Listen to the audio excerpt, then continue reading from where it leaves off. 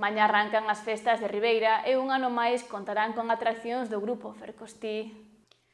A zona portuaria de Ribeira está se encher de atraccións que comezarán mañá a funcionar.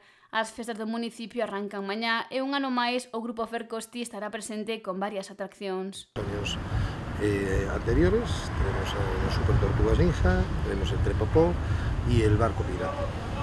Nada, deseamos que las fiestas se ocurran con total normalidad, que haya afluencia de público Yo creo que el programa este año es bastante diverso, con lo cual favorece a que la gente transite de un lado para otro y beneficie un poco pues, a, todos, los sectores de la población, eh, tanto de, de, una parte como de la otra, de García Bayón, como del Muelle y como la zona de aquí, y que sean unas, eh, unas fiestas que dentro de, de, del pesar que tenemos todos los ribeirenses, incluido yo, como me toca personalmente, por el naufragio, intentar pues, que pasen lo posible O Grupo Fercosti leva anos traballando en Ribeira nestas festas onde os nenos toman o protagonismo. No tanto como a juventud, es decir, que sí, trabajar con jóvenes, pero donde los niños más o menos pueden disfrutar, porque son partícipes de las atracciones, y la influencia del público normalmente es buena.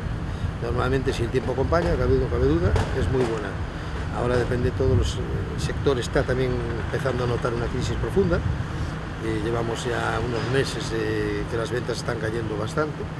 eh, los tenemos que cada vez pagar más dinero nos puestos y, y los gastos nos, nos suben. O que implica que tiveran que incrementar os prezos das entradas ás atraccións Isto, sumado á situación económica das familias, sinala que non axuda a que a xente se anime a montar como hai dez anos. Es eh, normal, es lógico, es que fíjese usted que, que esto es un artículo de lujo, es decir, la feria, pues la gente viene a divertirse, pero es un bien de primera necesidad.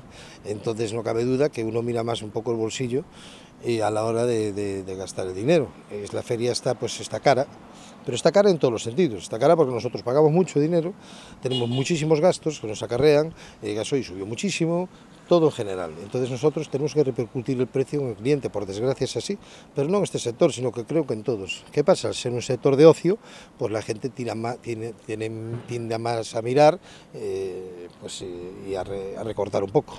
Os feriantes levan xa percorrendo os municipios ao longo de todo o verán, que non está a ser moi positivo. Después de la pandemia tuvimos un boom, yo creo que en todos los sectores fue, en el cual nos trabajamos bastante bien.